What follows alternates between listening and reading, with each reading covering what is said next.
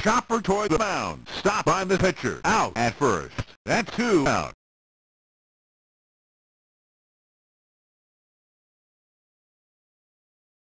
At the plate, number 18, the first baseman, a 295 hitter.